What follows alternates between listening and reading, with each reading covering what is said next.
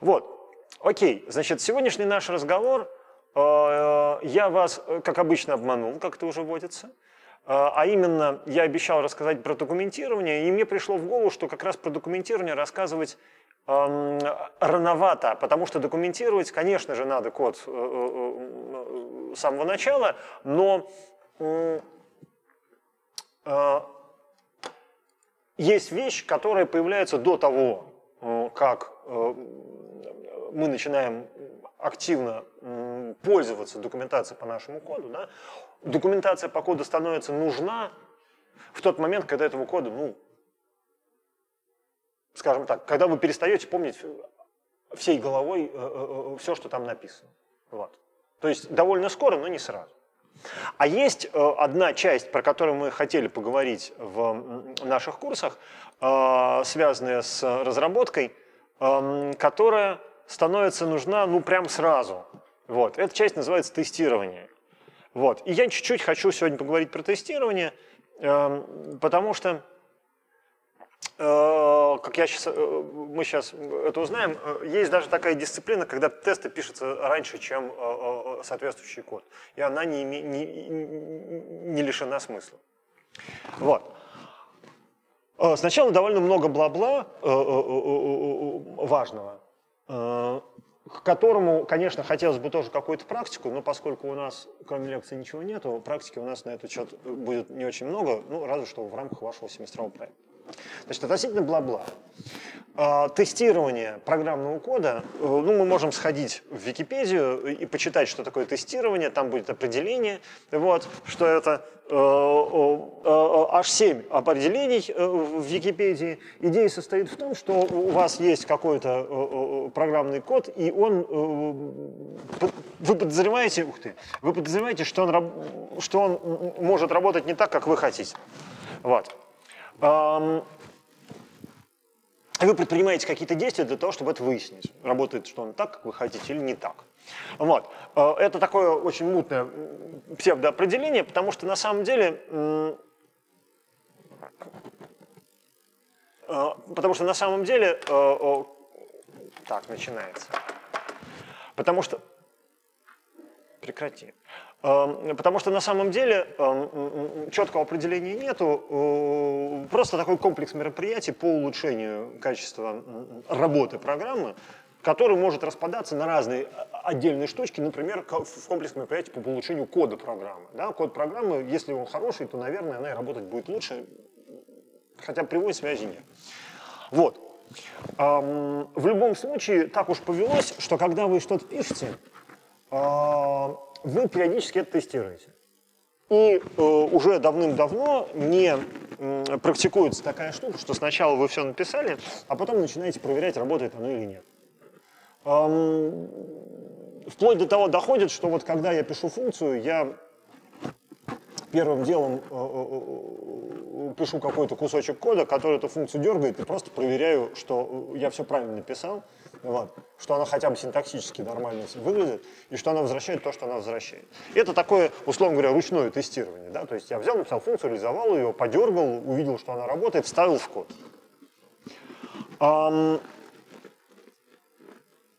так что, если речь идет о тестировании э, э, внутри жизненного цикла программного продукта, то мы упираемся как минимум в три места, где эта самая проверка Э, качества правильности работы программы э, потребно. Во-первых, при разработке, естественно, да, когда вы разрабатываете, э, очень важно оснащать ваш исходный код тестами, чтобы в каждый момент улучшения, обновления, пополнения кода вы были уверены, что все работает, во-первых, все работает предсказанным образом, а во-вторых, все продолжает работать так же, как работало раньше.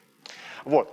Во-вторых, второй участок, где нужны тесты, это перед сдачей в эксплуатацию, когда, э, собственно, вы должны убедиться, что ваш программный продукт действительно работает так, как предполагалось, вот, а, а, а, на большом количестве э, тестовых, э, на большом количестве тест-кейсов. Вот. И эм,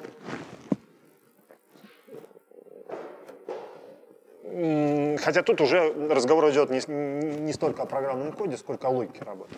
Вот. И на этапе эксплуатации или предэксплуатации, когда у вас уже к программному продукту есть доступ различных людей, было бы неплохо, чтобы тестом занимались э, широкие массы, то, что называется бета-тестирование. Потому что непрофессиональные тестеры, как правило, очень много чего такого вам найдут. Вот. Из этого следует как бы, из этого, ой-ой-ой, из этого следует как бы три уровня. Опять-таки, можно сходить на Википедию, почитать. Вот э, про тестирование там очень много всего будет написано. Но, но, но нам интересно вот в нашем сегодняшнем разговоре как бы три уровня. Уровень, э, который внутри разработки, который называется юнит-тестинг. Юнит-тестинг – это такая дисциплина оснащения тестами исходного кода, которая позволяет проверять работоспособность отдельных его кусков. Как правило, я бы даже сказал почти всегда, юнит-тестинг – это э, то, что, что занимается модульным тестированием, оно же юнит-тестинг, это часть вашего же программного кода. То есть, вот у вас, вы пишете программу, вы написали какой-то код, в этом коде присутствует дополнительный какой-то какой код или какая-то информация, предназначенная для его тестирования. Это юнит-тестинг. Э, в проектах, э, в которых у вас не все упирается в просто тупо программирование, а еще есть какие-то, значит, у него компоненты, какие-то части, которые должны друг с другом взаимодействовать, э, появляется слой integration тестирования. И это ситуация, когда у вас есть несколько раздельных кусков, которые вообще, по идее, должны после того, как у вас получится программный продукт, работать вместе. Это может быть э, просто разные программки, это могут быть какие-то библиотеки, которые надо вызывать э, вот, э, из других мест. Ну, например, вы пишете библиотеку, и эта библиотека, и пишете приложение, которое ей пользуется, может быть, не одно. Вот. Это могут быть какие-то э, довольно серьезные программные компоненты, веб-сервер и логика внутри веб-сервера и так дальше, и так дальше.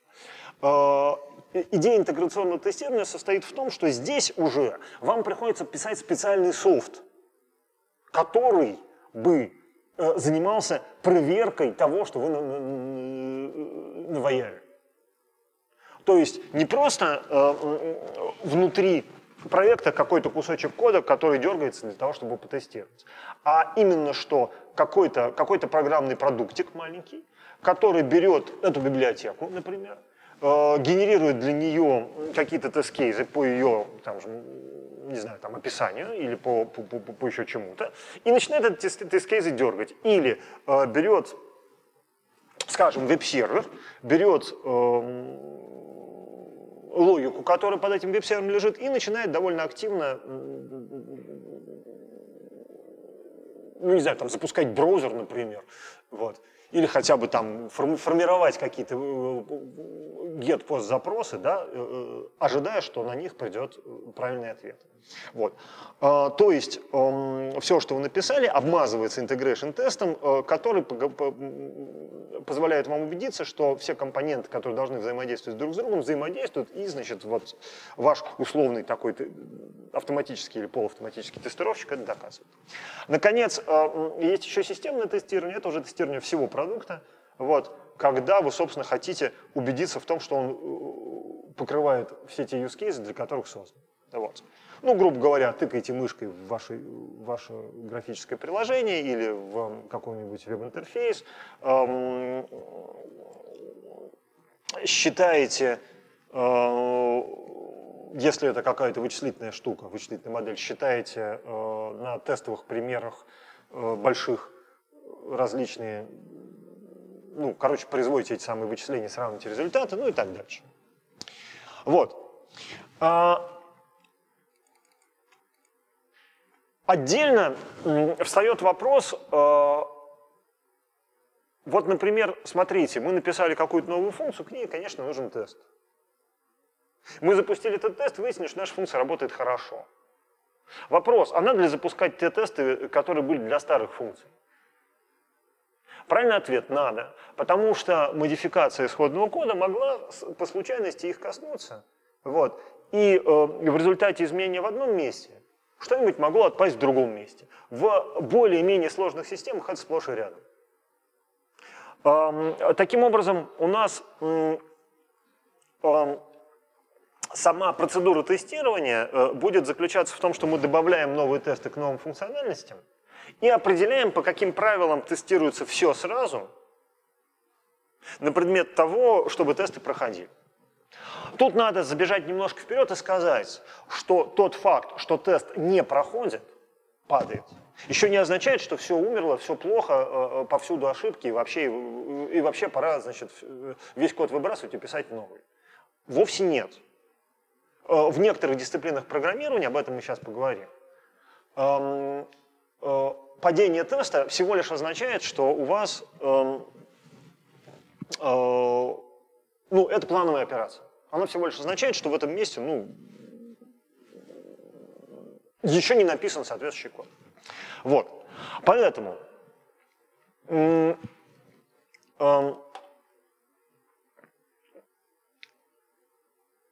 Так, ладно, я придумал. Я в какой-то момент прервусь и покажу что-нибудь в питоне, а то всем уже скучно. Поэтому э, э, э, есть такая штука, которая называется регрессионное тестирование. А, это, собственно, такой подход, когда вы запускаете все имеющиеся тесты и смотрите, что сломалось в сравнении с предыдущим разом. То есть понятие, в понятие тестирования внезапно под, включается история тестов у вас вы, значит, заимплементили новую функцию, а регрессион у вас сломался, и какие-то станеры перестали работать. Это может быть эм, как бы непреднамеренно, это может быть какая-то случайность, и с этим надо бороться. Это может быть преднамеренно, потому что э, э если вы заимплементили новую функцию и не переписали еще э, старые для, для работы с нею, то, возможно, возможно э, они будут падать на тех тестах, на которых раньше работали. Да? Регрессия – это регрессия. Вот. А, особенно это важно понимать э, в, э, э, в соображении дисциплины программирования, когда мы говорим, нет, вот каждый комит у нас код только улучшает. Так не бывает. Если вы работаете с большим проектом, всегда может быть такая ситуация, что какой-то кусок на каком-то шаге разработки вы ломаете работу вашего проекта. Да? И эту поломку показывает вам наличие регрессии в тестах, но как бы Э, это все может быть планово. Да? Главное, чтобы вы осознавали, а, что это произошло, и, б, как с этим бороться. Вот. Давайте, что ли, забежим немножко вперед, чтобы, чтобы не, не, не сидеть, не мучиться. И э, э, посмотрим, ну, скажем, на юнит-тест. Юнит-тест – это самый такой классический, э, классический э, модуль для питона, для тестирования. Вот он исповедует довольно простую идеологию. Э, э, э, вот. Значит,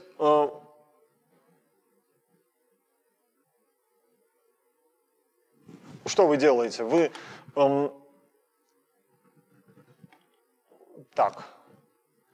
Давайте с другого начнем. Давайте с более простого начнем, извините.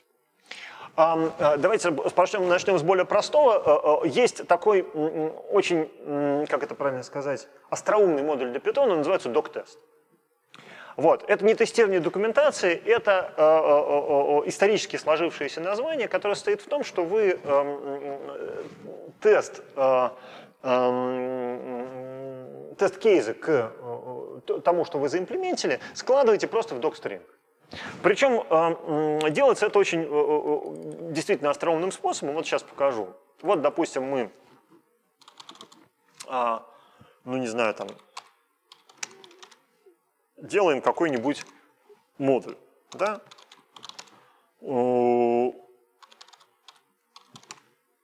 Вот, значит, ну тут ничего интересного. Значит, эм, вот у нас есть какая-то функция, э, ну не знаю,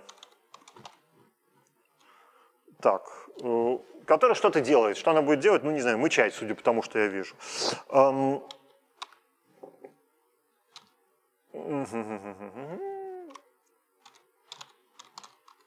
допустим, 2, да.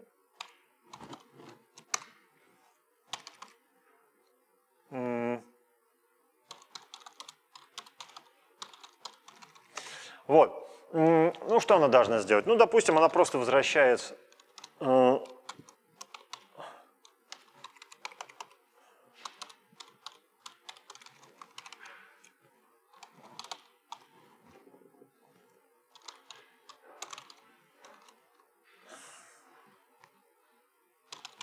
вот как-то так. Вот такая прекрасная функция, которую мы учили. Давайте посмотрим, как она это делает.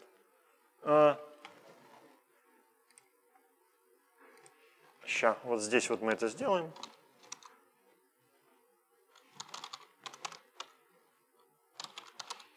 Напоминаю, что...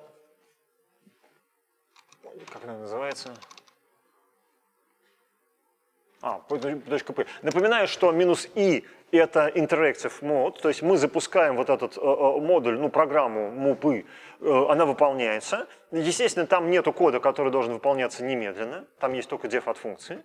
Вот. И э, э, мы э, тем самым попадаем попадаем в интерпретатор в, в состоянии, что у нас все, все, вся программа исполнена, все, все объекты, все имена залипли в нашем namespace, и мы можем отлично что-нибудь такое сделать, например, написать moving допустим, вот так. Лен ГХТ, а там ГТХ, да? ГТХ. Ну, ошибся я. Вот так. Um,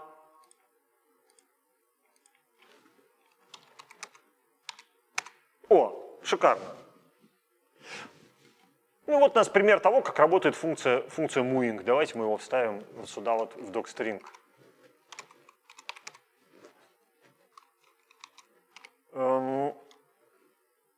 Сейчас.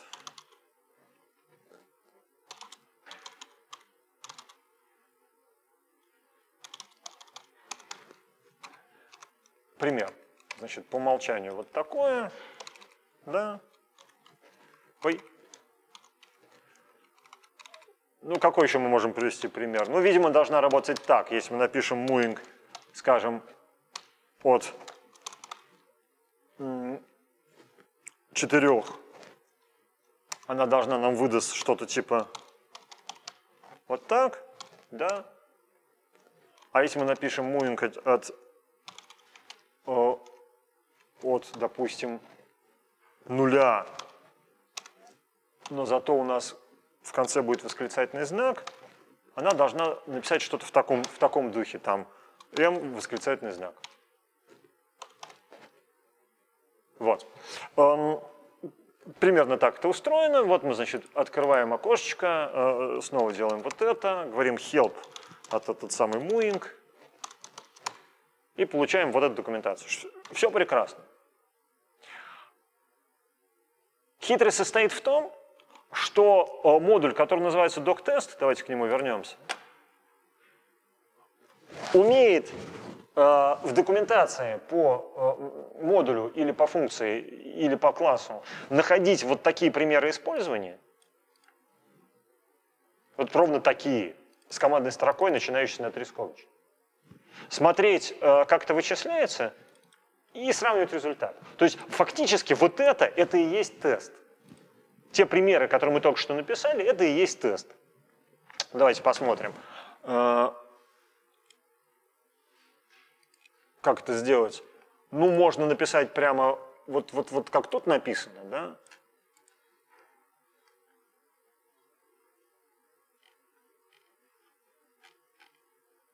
Просто вот так и написать.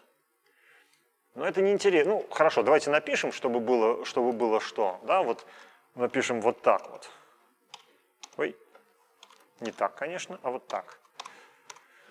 Да? Значит, что мы делаем? Мы используем модуль, который называется doctest. В нем есть э, метод testMod, который, собственно, э, э, возьмет э, наш собственный, э, наш собственный файл и, э, э, э, вернее, весь его namespace и протестирует на предмет э, того, что там в докстрингах написано.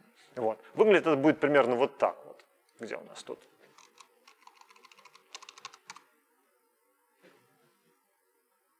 мы ничего не увидели. Почему ничего не увидели? Потому что не произошло ошибок. Давайте э, какую-нибудь ошибку вот здесь вот, например, добавим, уберем одно О.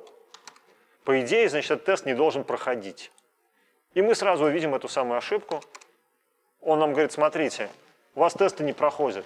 У вас муинг от 4 должен равняться му, а равняется му. Вот. На самом деле, по крайней мере мне лично, удобнее даже не такой интерфейс вот с этим самым, уберем обратно, я сказал, уберем обратно, э, с непосредственным вызовом э, э, модуля, импортом модуля и вызовом этого модуля отсюда. Я вполне могу в качестве работы с вот этим самым своим модулем, который называется mu, я вполне могу эм, в качестве примера написать здесь пример, а вовсе не тест. Да? Вот сюда тесты вписывать, в общем, нехорошо. Если вы работали с питоновскими модулями, вы знаете, что некоторые из этих модулей можно просто вызывать, и они будут что-то делать. Ну, например, э, помните PDOC? Его можно вызвать, и он запустит, и он запустит браузер документации. Вот. Поэтому вы в вашем модуле тоже, наверное, не тест будете вставлять вот сюда, а что-то другое. Поэтому пока что мы здесь напишем э, что-то другое. Да? Э,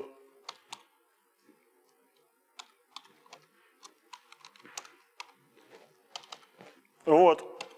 Ну, пускай так будет, это не важно.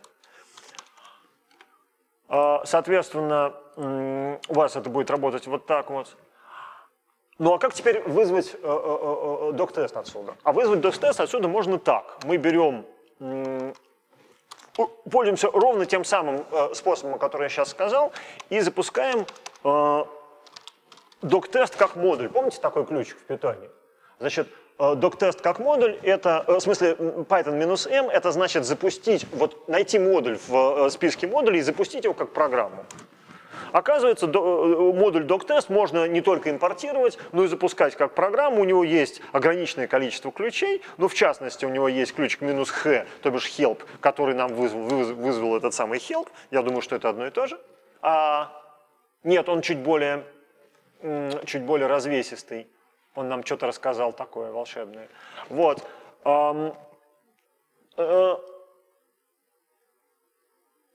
Дальше у него есть ключик минус О, который э, определяет, как обрабатывать тесты. Можно почитать документацию по док-тесту, что, что вот эти все флаги означают.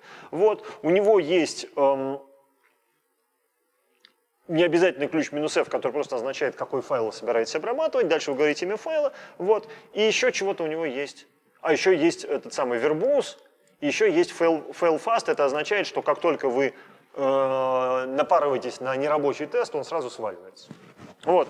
Ну что, давайте тогда так и сделаем. Как вы видите, он также оттестировался. Но теперь мы знаем, что можно сказать минус verbose. Вот здесь вот, минус v. И увидеть э, э, всю полноту картины. Смотрите.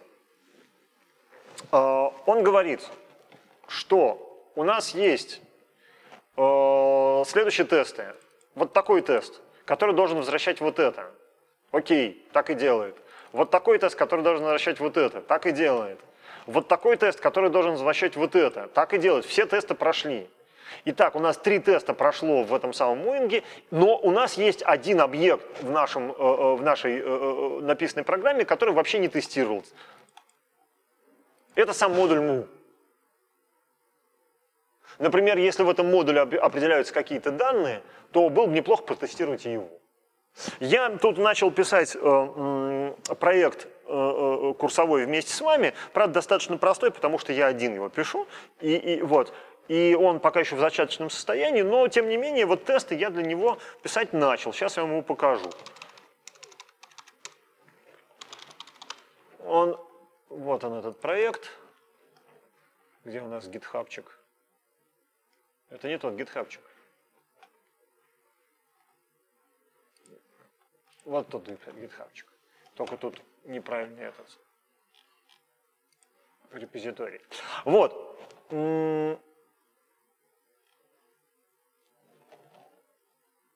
Не вижу. Сейчас давайте посмотрим все.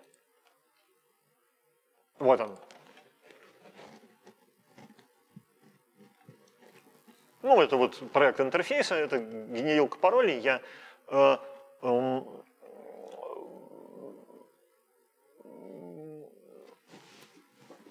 хочу написать такую программку, которая будет э, э, генерировать пароли на, с э, разными, пользуясь разными алгоритмами, пасфразы, пароли, ну, короче, сколько успею. Вот. Главное в этом, в этом проекте сейчас не то, что он умеет, а то, что я его немножечко, немножечко обмазал, обмазал тестами. Давайте мы его заклонируем. Тут даже давайте напишем сразу, чтобы он это запомнил.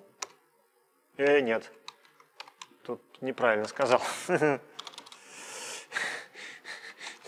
Главное, он не... При... Да. Ща. Я ошибся в, в имени пользователя. Придется его поменять. Ай.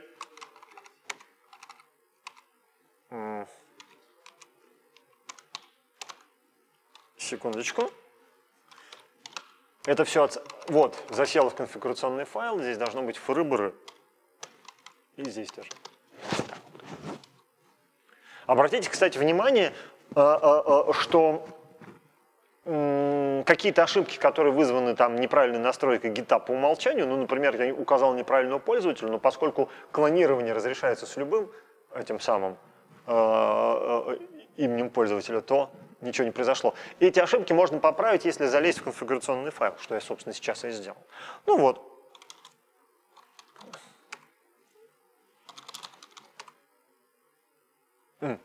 Окей, вот, э, значит, у нас есть э, тут э, парочка файлов буквально, пока что в этом модуле. Это файл, который, давайте лучше посмотрим на него. Вот, это файл, который в котором есть разные получатели словарей. Сейчас тут только один словарь. Это словарь, который лежит... Эм, прекрасный словарь э, «Тысяча самых популярных английских слов». Вот. Эм, из которого... Вот давайте его посмотрим. Это Еджадж.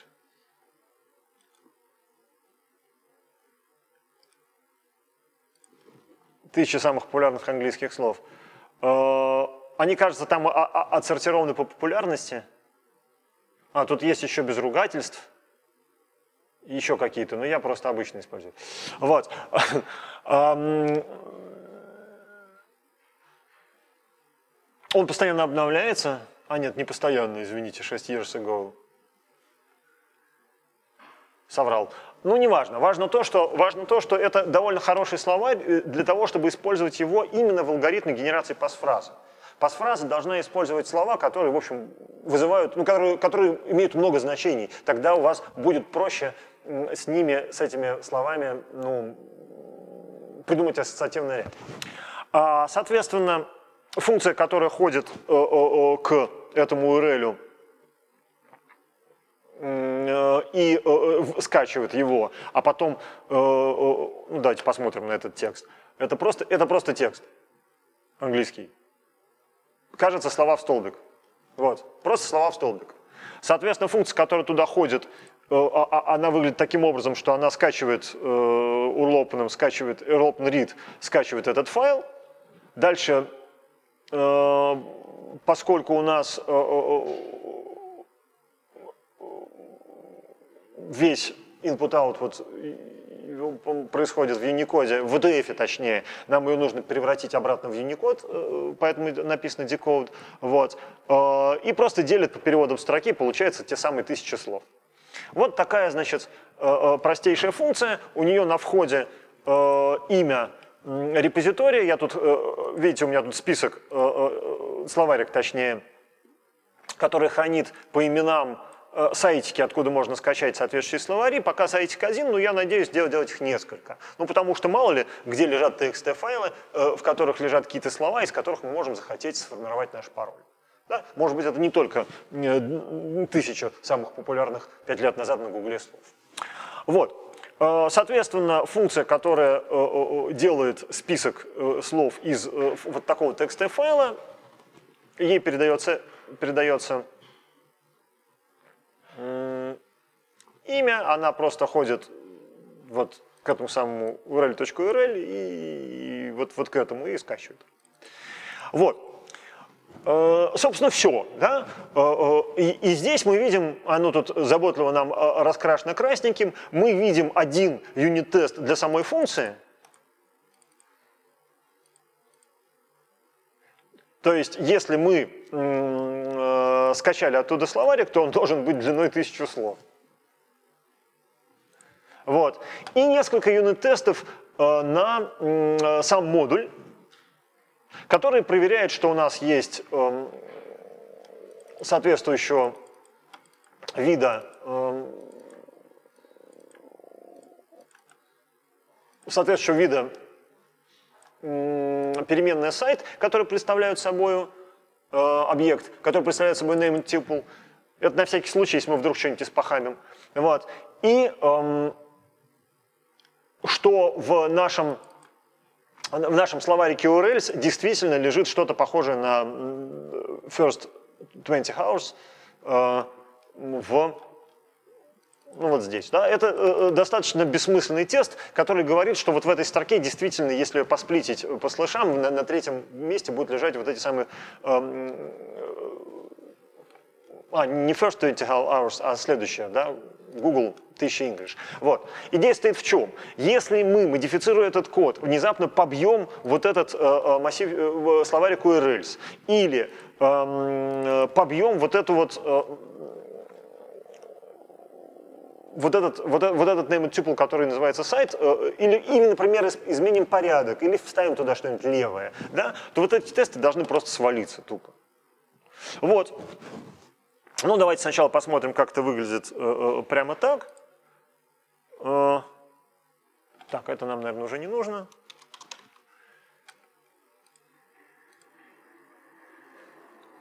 Как это выглядит прямо так. Вот тем же самым нашим док-тестом посмотрим, как это работает в случае нет.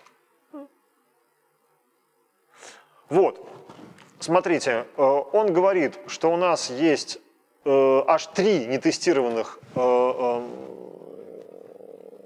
три нетестированных айтема. Это наша, наша переменная сайт и ее, ну, в смысле, наш объект сайт и ее поля URL и get. Вот. Надо почитать немножко дисциплину оформления док-тестов, как сделать так, чтобы наш док-тест понял, что это тестик, допустим, именно для Э, имени сайта. Вот. Зато он знает, что есть четыре теста для модуля нет и один тест для э, функции нет.txt. Вот. Э, вот он их все запустил. Он увидел те самые строчки, которые, которые от него хотелось, сравнил их и говорит, что 0 failed. Если мы при нашей разработке начинаем что-то что здесь портить, и, допустим, эм, что-то переделываем, и, допустим, вот здесь вот у нас эм, добавляется какое-нибудь поле левое, то тесты будут продолжать работать, кстати, смотрите. Это значит покрытие неполное. Ну, допустим, get и еще там, не знаю, чек. Значит, что я делаю? Я сейчас э, э, изменяю, перепроектирую э, объект сайт, добавляя в него третье поле. Значит, кто не знает, что такое name tuple? Name tuple – это такая штука в коллекциях, которая делает вещь очень похожую на абстракты во всяких там ваших C. То есть у нас будет объект, у которого будут сразу поля по имени URL, get, ну и сейчас check.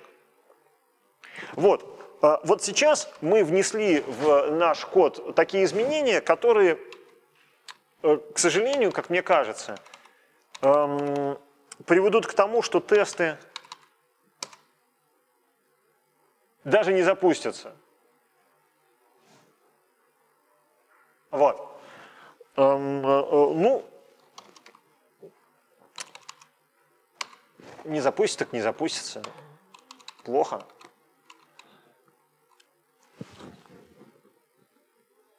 А в каком месте ему стало плохо? Ну-ка, давайте еще раз.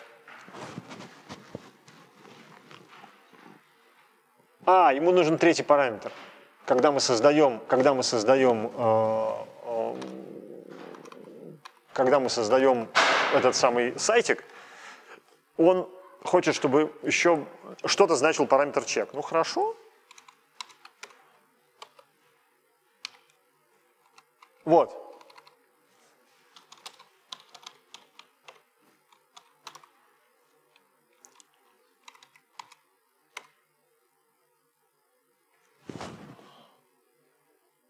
Вот, видите, мы э,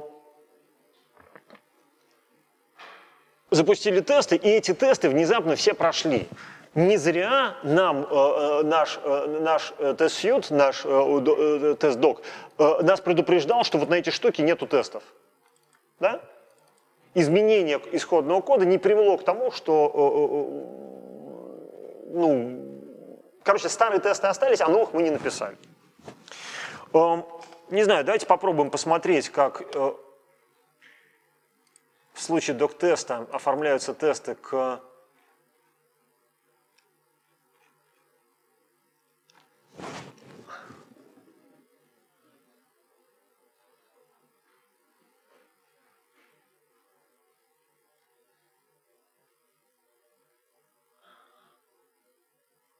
каким-то кусочком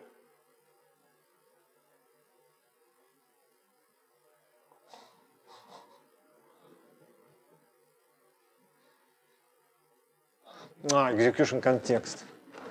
Ага, понятно. Ну ладно, в общем, э, непонятно, как здесь... Э, а, вот. Непонятно, надо посмотреть будет. В общем, э, сейчас я не буду вам говорить э, того, чего прямо сейчас не знаю, но, по всей видимости, э, в этой документации нужно найти, для того, чтобы вы смогли заполнить тесты, соответствующие, ой, тесты, соответствующие вот этим вот полям, нужно как-то в документации указать, что этот тест относится не к всему модулю, да, а к конкретному полю. Окей. Значит, э, э, ну и, и, и, и, и можно продолжать, можно продолжать э, наш разговор, потому что вот у нас есть еще, допустим, алгоритм. Вот, такая же точно такая же точно картина. Значит, под модуль алгоритм – это разные алгоритмы по составлению паролей. Вот. В частности, вот этот должен генерировать подфразу. Подфразу из слов разделяемых разделителями. Эм, тут количество слов, а тут размер. Размер, кстати, я еще не реализовал. Вот. Э, и здесь вот опять тесты. Значит, э, наша пасфраза сгенерированная из вот такого количества. Значит, это, значит, у нас на вход передается последовательность. Значит, здесь у нас 10 элементов и 4 элемента разделителя. Э, на 8 элементов должна быть э, длиной 15, да, 8, 8 э, слов и 7 разделителей. Вот. Пасфраза, сгенеренная из множества из одного слова и множества из одного разделителя длиной 8, должна быть ровно такая и никакая иначе. Вот. Если мы сгенерили пасфразу из нескольких множеств, каждый из них шириной в один элемент, то если мы посчитаем эти элементы, то получим, собственно, 8, 8 слов и 7 разделителей между ними. В данном случае словами работают одиночные символы. Если мы все-таки хотим, чтобы словами работали слова, ну вот сделаем вот так вот, да, э, скажем, что у нас исходных слов вот столько, они все разделены слышами, вот. Заметьте, что в нашу функцию можно передавать в качестве количества слов вместо одного числа целый range, и тогда из этого range а будет случайно выбираться э, э, размер. То есть у нас количество слов в нашей пасфразе от 2 до 5, не включая 5.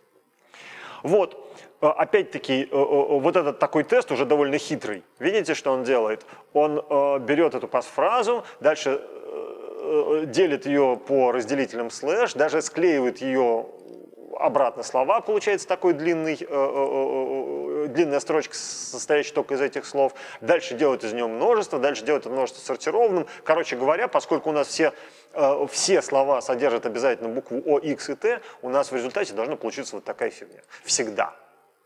То есть тест устроен таким образом, что даже несмотря на то, что это э, рандомный генератор, э, мы из этого рандомного генератора делаем какой-то препарат, этот препарат обязательно заканчивается, э, обязательно приезжает вот к такому значению.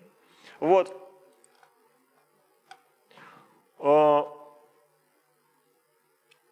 Ну, а здесь, здесь тестируется, что наши пасфразы генерируются действительно на четных местах стоят э, элементы из слов, а на нечетных элементы из...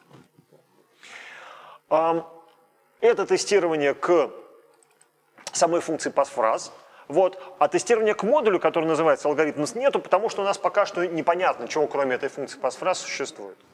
Вот. Ну, опять-таки, можно, можно посмотреть, как это работает.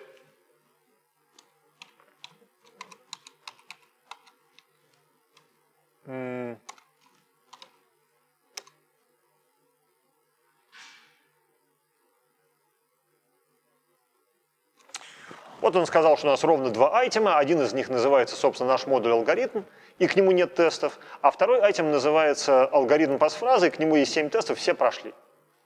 Все хорошо.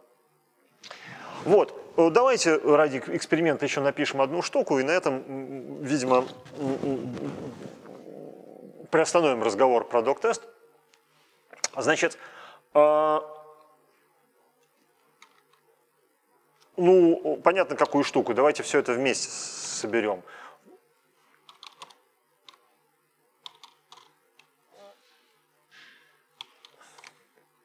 Да? Чего там у нас? Uh, from алгоритм импорт, как он там назывался-то? Пасфраз, да?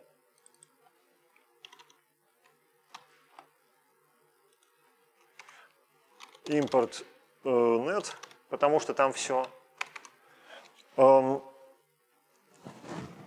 это у нас да, значит, что быть такое? Core должна уметь э, генерировать пароль по конкретному, э, по конкретному, э, пасфразу по конкретному словарю. Ну окей, давайте сделаем это. Значит, что у нас там?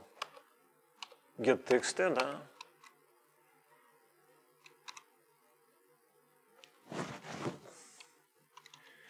Dict, ага.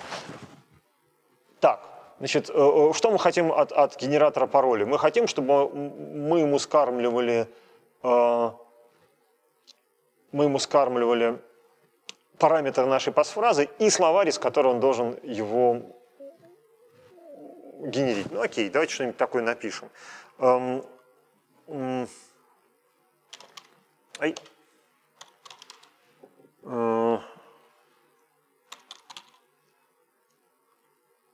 Ну, гпас какой-нибудь, неважно. Э, что здесь у нас? нет. Так вот напишем. Сколько там? Одна тысяча? Десять тысяч.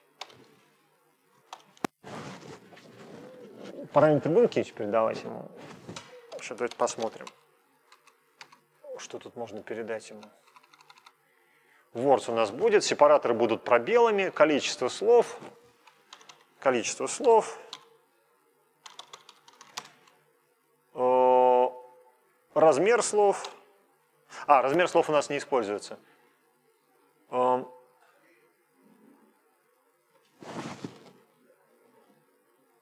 ну и, пожалуй, seed равняется 0. Мы, кстати, не, не сделали здесь проверку на то, что у нас используется seed. Мы, в принципе, можем... Ну, кстати, ладно, здесь сделаем. Вот. А, d равняется...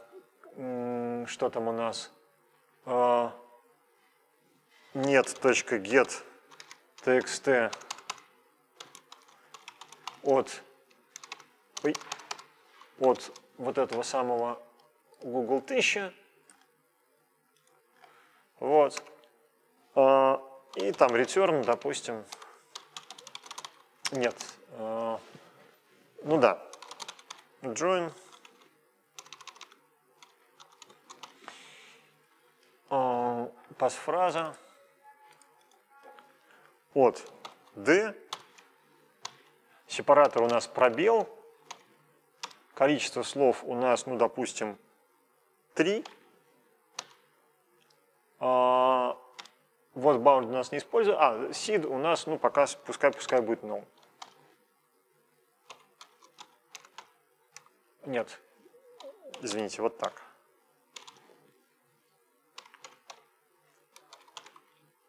Так, вот мы написали какую-то функцию в каком новом модуле, сейчас мы к ней приделаем тесты, но для начала убедимся, что она вообще работает руками. Кстати, обратите внимание, э, э, чем, э, чем мы сейчас занимаемся. Мы, собственно, занимаемся тоже тестами. Вот. Только тестами совершенно ручными. Да? То есть мы говорим ему минус и коре, шмяк, инвалид синтаксис. Что не так? А, стробочку не закрыл. Вот. Cannot import zip logist.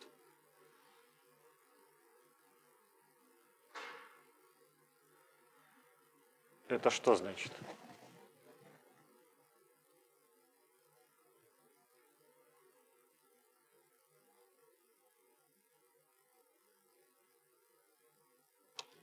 Интересный вариант.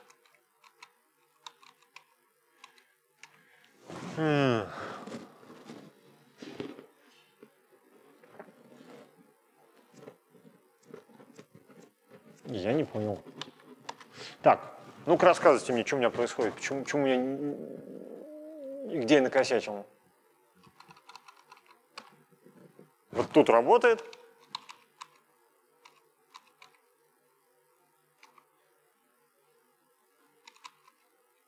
А вот тут не работает.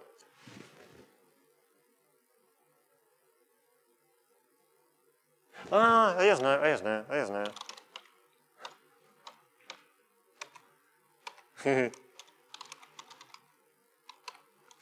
Это был первый, э, второй питон. Вот теперь все будет работать. Не. А. Вот. Извините. Так. Ну и чего? Какая там у нас функция называлась? Google 1000. Google 1000 missing количество слов.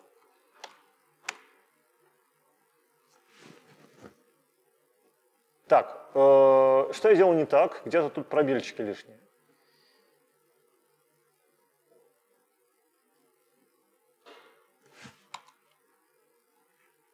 Да, давайте смотреть. А, ну конечно.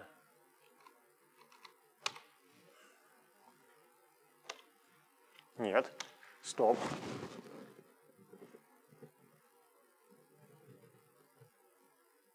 Ладно, все по очереди.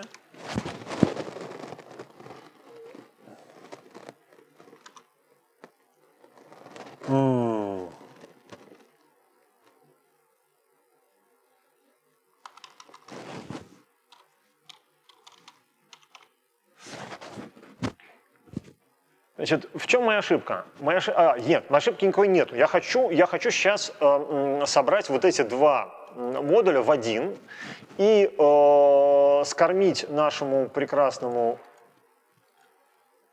Понятно. Давайте-ка посмотрим, что у нас с сетью.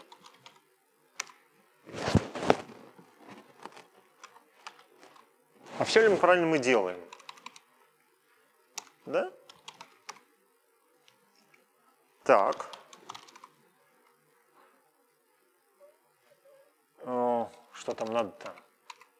Там надо ему сказать get.txt от вот. Вот это ему надо сказать. Да?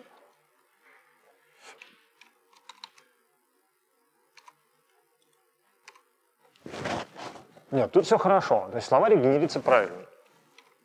Давайте мы, кстати, это потестим. У нас в тестах нету э, ситуации, что у нас, э, ну, например, последнее слово в нем poison. Давайте-ка мы это потестим. Скажем еще вот так вот. Э,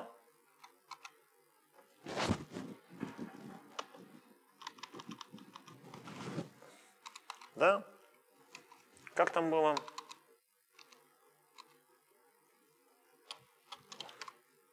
О! Обратите внимание, что волшебным образом это, это становится тест-кейсом и начинает... Вот. То есть тут все в порядке. Почему, почему у нас там все через пробел выводилось, непонятно.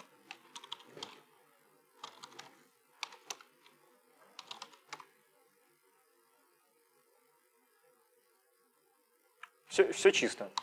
Так, теперь давайте вернемся к нашему, к нашему, как его зовут, к нашему кору и посмотрим, что я сделал не так.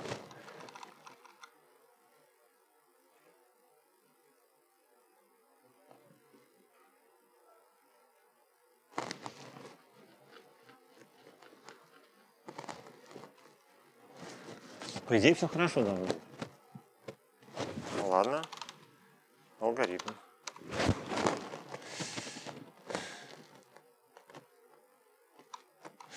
А, слушайте, а вот я не потестил, что у нас происходит с этим множеством, да? Может быть, тут какая-то ошибка. Ну, давайте попробуем. Значит, э, э, в чем, в чем, в чем, какие еще есть подозрения? Что вот эти вот штуки распадаются, что когда мы скармливаем слова, эти слова распадаются на кусочки. А, как бы это сделать?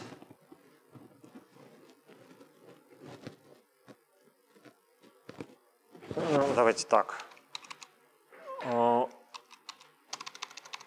Что там у нас? Алгоритм, да.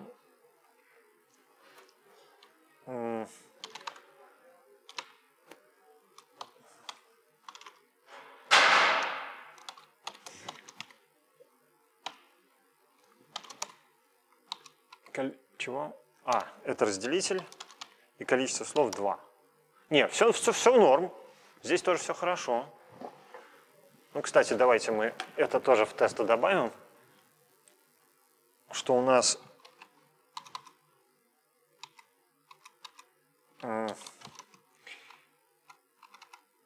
Это чего тест? Это тест тоже под пасфраза, да? Что у нас э, переданные переданные слова тоже работают. Окей, значит, э, и все-таки я не пойму, что дело не так вот здесь.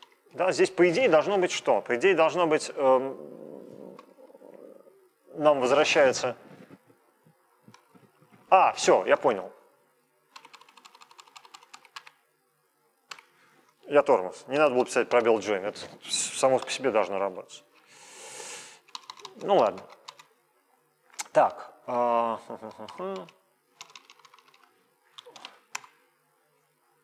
Что у нас там? Google, Google 1000.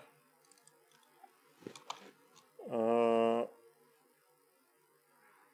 нет, да. Сейчас. Help. Ой, надо было help написать. Давайте напишем. Um,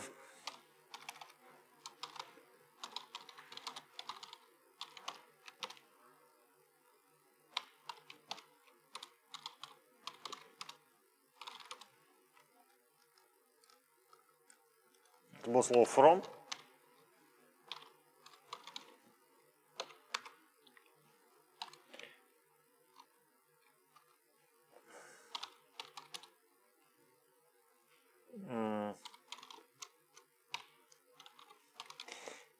Так, вот так вот, допустим.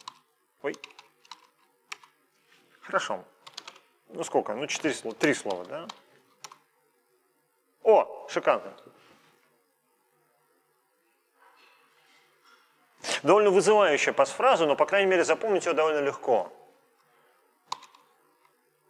Ну, давайте от четырех.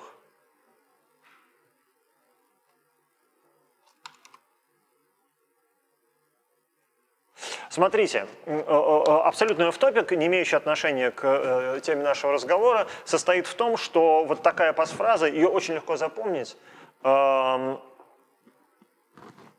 поскольку это слова очень общеупотребимые, довольно легко себе придумать мнемоническую схему, как это запоминать. И это реально тяжелое, э, очень тяжелое на, э, на подбор э, словосочетания, да, у нее э, энтропия очень высокая, потому что слов у нас 10 тысяч, да, вот, вот, а, а, вот эта штука выбирается с вероятностью 1 десятитысячная. Ну, соответственно, вот умножим, да, 10 тысяч, возведем в четвертую степень, получим вероятность э, подбора. Такие дела. Да нет, достаточно. Окей, а? Если хэш слабый. В смысле, если его быстро подбирать? Ага. То в пасфразе, пасфразе которой нету, не, нету символов, да, эм, четырех слов маловато. Ну окей. На самом деле, ну, короче, это, это есть отдельный, э, э, э, это действительно офтопик для сегодняшнего разговора, но есть как бы разговор на этот счет, может быть. Тем более, что этих слов мало. Да? Если бы это были слова из большого словаря, это еще одно, а тут их всего 10 тысяч.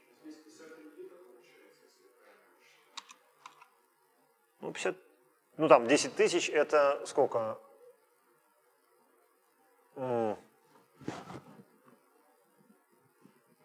Почему 53?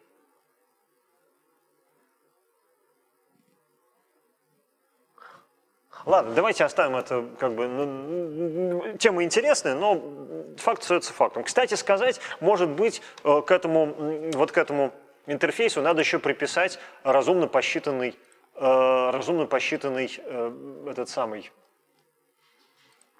где он тут?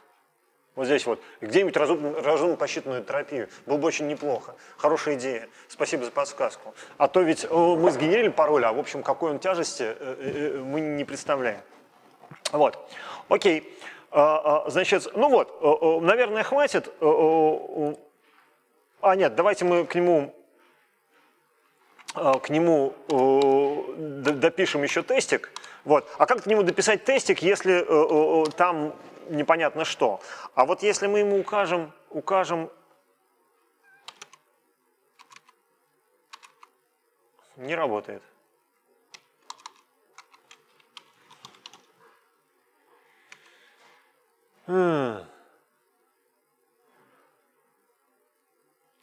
Ладно.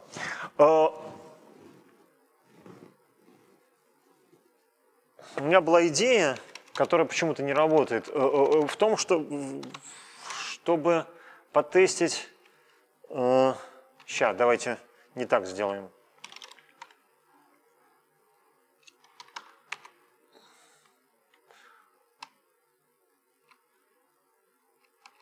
Ему сказать сид равно.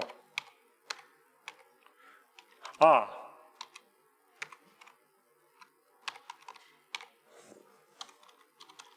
Во.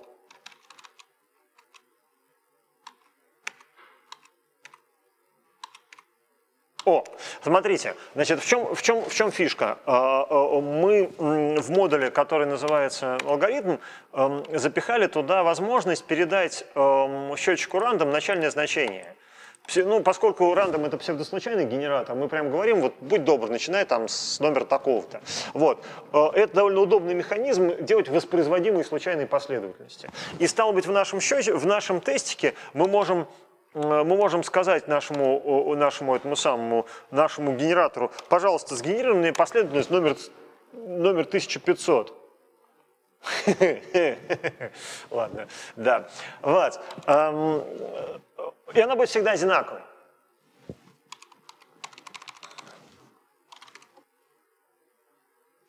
Ну вот. Вот, вот, вот, вот, вот это вот можно прям взять и засандалить в этот тестик.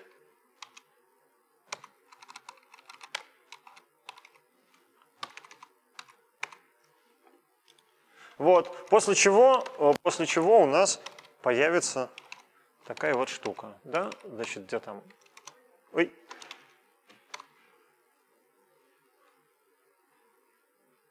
Вот, вот.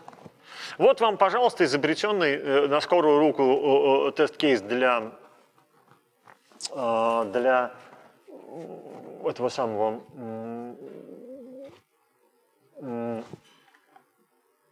ну, свеженаписанного кода.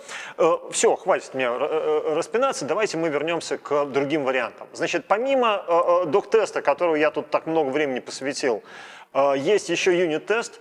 В юнит-тесте это уже более серьезный, серьезный фреймворк для тестирования. Он оперирует такими понятиями, как fixture, это, собственно, подготовленная,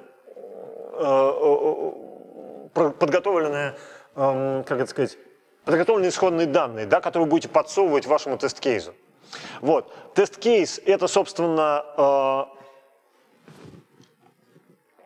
э, то, что вас будет проверять, вот, тест-суит – это ну, набор тест-кейсов, а раннер – это программа, которая, собственно, будет э, запускать этот тест-кейс. Значит, смотрите, э, э, то есть, в принципе, э, даже простой модуль, который называется юнит-тест, э, подразумевает, что вы будете эти тесты гонять как бы сами. Да, вот в случае док-теста мы их, у нас запуск тестов на самом деле содержался просто в строке, в строке документации. Да? В случае, в случае юнит-теста там уже вот э, ну вот, пожалуйста, вот вам пример, да, времени у нас не так много, давайте почитаем пример просто глазками. Э, вот у нас, э, допустим, мы собираемся тестировать э, функцию, там, не знаю, upper из upper split. Вот. Для этой цели мы пишем, эм, создаем тест-кейс, который называется test string methods, и в нем создаем методы, которые начинаются со слова тест, а заканчиваются, заканчиваются, эм, э, ну вот чем-нибудь, идентификатором, ну, например, той функции, которую мы с вами тестировать. И дальше мы просто делаем э, э, соответствующие ассершены. Правда, это не assert питоний, это специальный метод assert equal, assert true, assert false. Короче говоря, мы тестируем на предмет того, что у нас, допустим, foo upper будет равен foo. Вот, и если будет, то тест пройден, а если не будет, то тест не пройден. Здесь мы тестируем на предмет того, что фу, фу большое из upper будет, э, будет true, а фу, фу такой из upper будет false. Вот. Здесь мы тестируем на предмет того, как у нас работает сплит. Вот.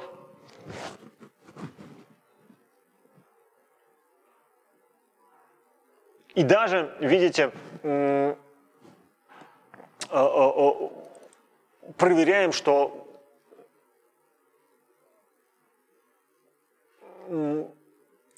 проверяем, что у нас есть type error при вызове этого самого сплита. Вот. Интересно, а в каком виде?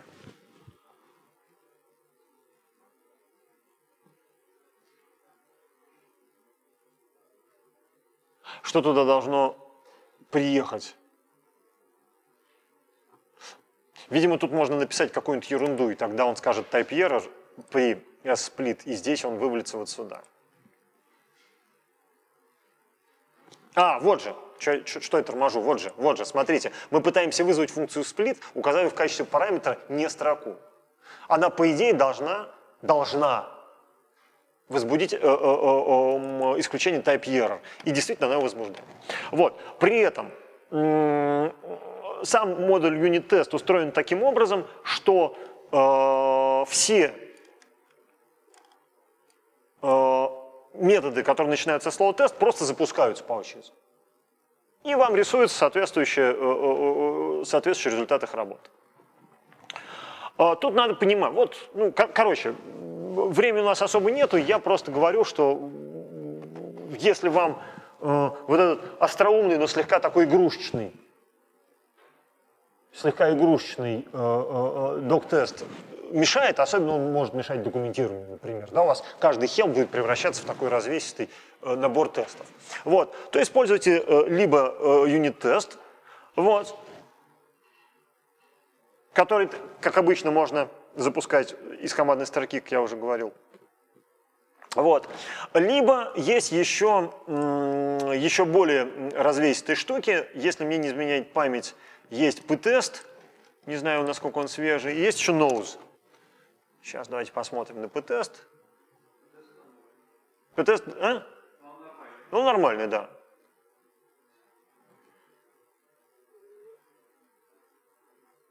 Вот он. Да? Ух, совсем времени не остается, я увлекся написанием кода, как обычно. Да, птест довольно, довольно развесистая штука. Вот. И есть, если не ошибаюсь, штука, которая называется nose. Вот. Значит, вот э, тоже два, э, э два э, э, таких приличных фреймворка, которые очень часто пользуются для, для написания юнит-тестов. Вот. Эм, вся фишка состоит вот в чем. В принципе, вы могли бы вообще не пользоваться никакими фреймворками. Прям договорились, э, что пишите код, в этом коде пишите какие-то функции, которые как-то называются, а потом пишите одну большую функцию тест, которая эти функции дергает, и прохождение этой функции будет означать э, э, юнит-тестирование. Но а, вы довольно быстро запутаетесь, б, это сложно в смысле разработки. Да? Где-то в одном месте вы написали что-то, а где-то в другом месте вы написали тест к нему. Вот. И в основном все эти фреймворки, они э, предназначены для того, чтобы облегчить эту работу э, э, тем или иным способом. А, в нашем проекте можно использовать что угодно, кроме вот того, что сказал я сейчас. Да? Не надо писать просто набор каких-то абстрактных функций, говорят, это мои тесты. Вот. А, ну, то есть вот четыре варианта, как минимум. Можно, можно выбирать любой, какой хотите. Допустим, если вы пишете веб-приложение, там есть свои штуки, там, не знаю, какой-нибудь, сейчас не вспомню название. Так, э, э, давайте все-таки вернемся к... Не здесь, вот здесь. Да,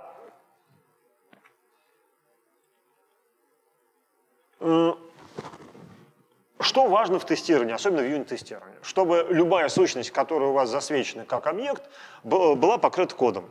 Э, в принципе, этот самый coverage, он, ну, это понятие очень расплывчатое. Смотрите, вот у нас только что наш док-тест нам придирался, что у нас есть некое, э, некий объект, у которого нету, нету тестов, потому что этот объект, вообще говоря, ну просто тюпль. Какие у него могут быть тесты у самого объекта? Вот. С другой стороны, э, если вы э, э, разрабатываете большой проект, то понятие тестового покрытия – это важная вещь. С третьей стороны, автоматическое вычисление тестового покрытия – вещь невозможная. Помните, мы сейчас с вами, вот, когда писали, писали что-то там дописывали, да, у нас выполнение падало, вот, еще до того, как какие-то тесты запускались. Или тесты запускались, все они, все они проходились, а, а, а, а некоторая функциональность была не оттестирована. Да? Мы тестируем не объекты, к сожалению, мы тестируем функциональность, мы тестируем, как должна работать наша программа. Поэтому э, э, тест-коверидж это такая штука, ну, достаточно... Она зависит, скажем так, от дисциплины программирования. Вот. Что еще хочется сказать? Да, значит, э, э, совсем не успеваю рассказать про такую штуку, которая называется разработка через тестирование. Но несколько слов я, конечно, расскажу. В принципе, в Википедии про нее все написано. Э, важно просто понимать, зачем это нужно. Есть такой стиль разработки, когда вы вообще сначала пишете тесты. Фактически вот этот тест э, у вас играет роль технического задания. Вы, вы говорите так, вот у нас должна быть такая-то функция, она должна работать так-то и так-то, на таких-то параметрах она должна возвращать то-то, на сяких-то все-то. Короче говоря, пишите тест функции. К этому тесту функции вы присобачиваете функцию, которая ничего не делает. И это ваш первый шаг, ваш первый комит. Написание теста и так называемого мок-объекта. То есть объекта, который не делает того, чего от него требуется, но существует. В результате э, при попытке э, запустить, собственно, тестинг этого кода, в этом месте тесты не проходят. Понятное дело, вы написали мок-объект, мок ничего не умеет. А, помните, я говорил, что то, что в тот факт, что тесты не проходят, еще не означает, что все, все, все неправильно. Вот э, э, типичный пример, когда вы используете, э, когда вы используете тест Driven Development, вы создали тест, он не проходит, вы просто э, таким образом себе формируете фронт работы. Потом вы пишете объект, формируете там функцию, которая будет удовлетворять этому тесту, и все тесты проходят. Вот. Потом вы смотрите на то, что получилось, делаете какой-то редизайн. Главная идея состоит в том, что когда у вас уже есть э, э готовые тесты, у вас фактически есть готовый ТЗ под каждый кусочек, под каждый э, класс, под каждый метод. Вот. И если вы что-то переписываете, да, то вы сразу видите по регрессион-тестированию, какие э, заранее данные формы у вас свалились. Обратная ситуация. Э, вы поняли в результате редизайна, что объект должен работать по-другому, переписали тесты, они теперь показывают, как объект должен работать, и вместо того, чтобы вы находились в состоянии «ай, все взорвалось, у меня ничего не работает», вы находитесь в вполне рабочем состоянии, что у вас некоторые тесты после, после редизайна перестали работать, и это просто фронт работ, да, э, э, э, в случае тест Driven Development, неработающий тест, это он показывает, просто показывает вам, какие функции, какие методы надо доправить. Вот и все. Что нужно переделать. Такие дела. Э, в питоне есть, давайте попробуем поискать, э, э, ой, да, давайте только перейдем обратно на PP. Нет, давайте не здесь, давайте вот прям вот так поделаем. В питоне есть несколько фреймворков для тестирования именно и для разработки именно сообразно test-driven development, это где-то вот тут будет. Да.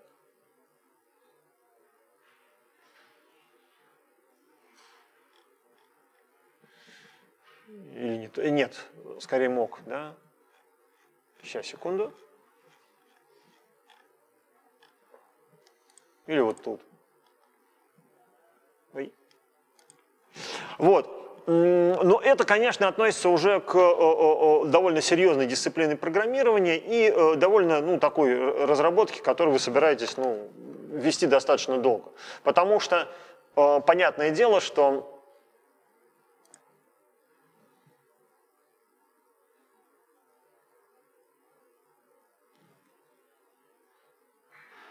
Ну, в общем, вот. Я не готов не готов рекомендовать какой-то из них, ничем из этого не пользовался. Вот. А, да.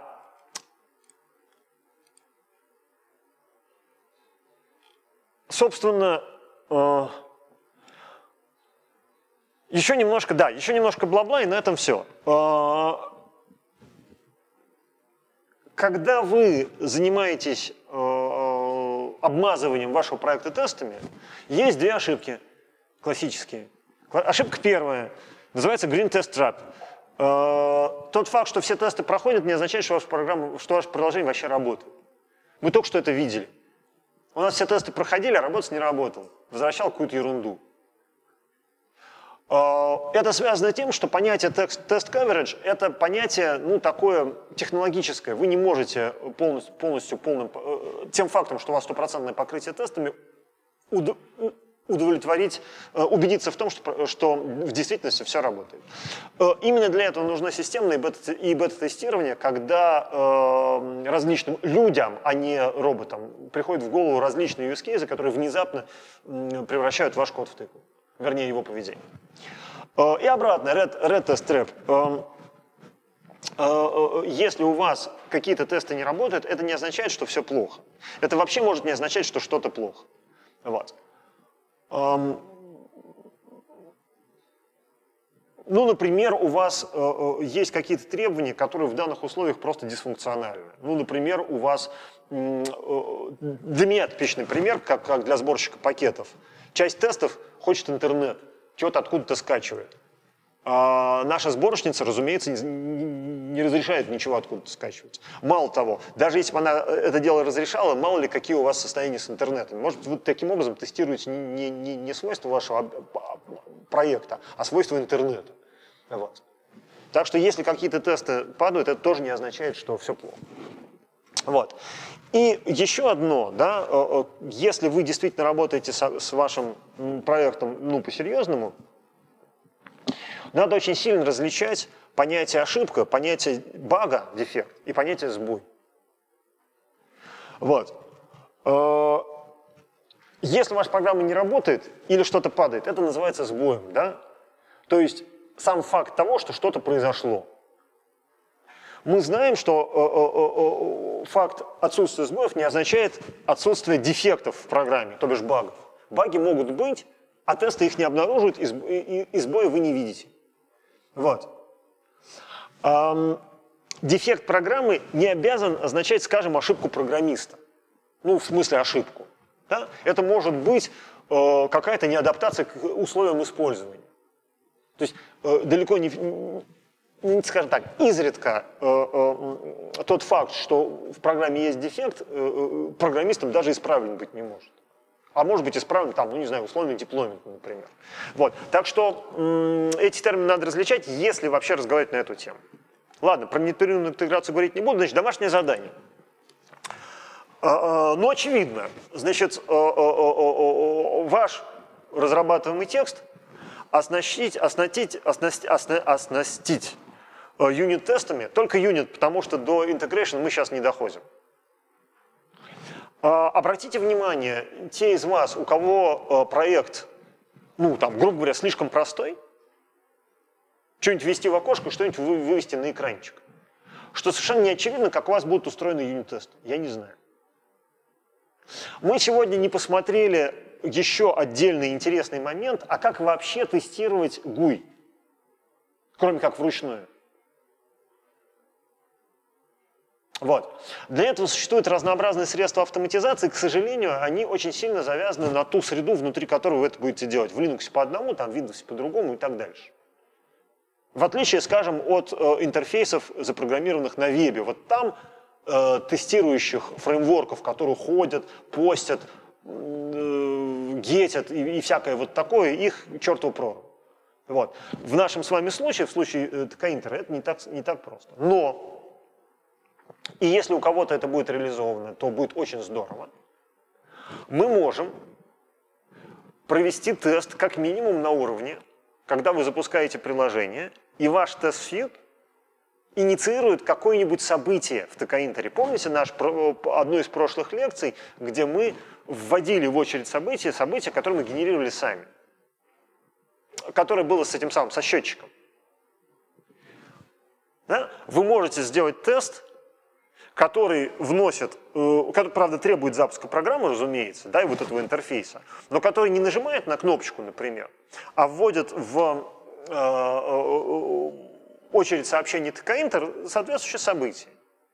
И проверяет в действительности там, при течении там, небольшого промежутка времени, скажем, ждет секунду, и проверяет, что через секунду у вас ваше приложение на это отреагировало. Например, в случае счетчика там изменился, ну, этого самого таймера изменился таймер, да? Что-нибудь такое. Если вы такое сделаете, будет очень клево.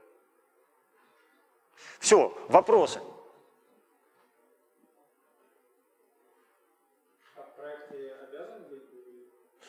Смотрите, если у вас в проекте нет GUI, значит у вас в проекте должно быть что-то еще. Ну, например, вы пользуетесь каким-то фреймворком, не своим, да, чем-то. Ну, не знаю, вот у меня есть один из проектов, ребята делают э, какой-то RESTful э, сетевой протокол. Значит, они будут пользоваться вот этой библиотекой. Да? То есть идея состоит в том, чтобы это была не полностью самописная программа, да? а чтобы она использовала какие-то сторонние, э, второсторонние фреймворки. Еще вопросы?